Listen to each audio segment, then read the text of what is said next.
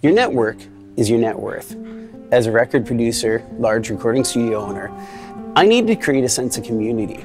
So I decided to throw a music festival. I had 12 bands in one day and garnished press cost. Country was on television and this, uh, it was a success. It actually worked. I thought, hey, I created a festival maybe I can do something else. So I decided I'm going to start a TV show. Hired a cameraman, uh, armed him with some what I thought were really great questions to ask the band. And he went to the studio, captured it, looked at the footage, and realized this is a complete disaster, man. This completely sucked.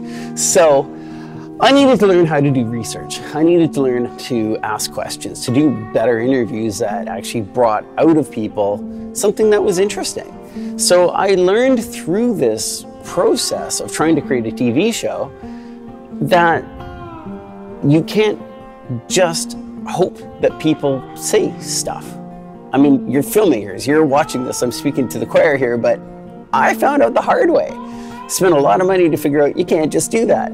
So I figured it out. I learned a lot of jobs I didn't know the name to. Uh, and I learned how to become a filmmaker through creating this TV show, which got on television, went cross country, and was successful.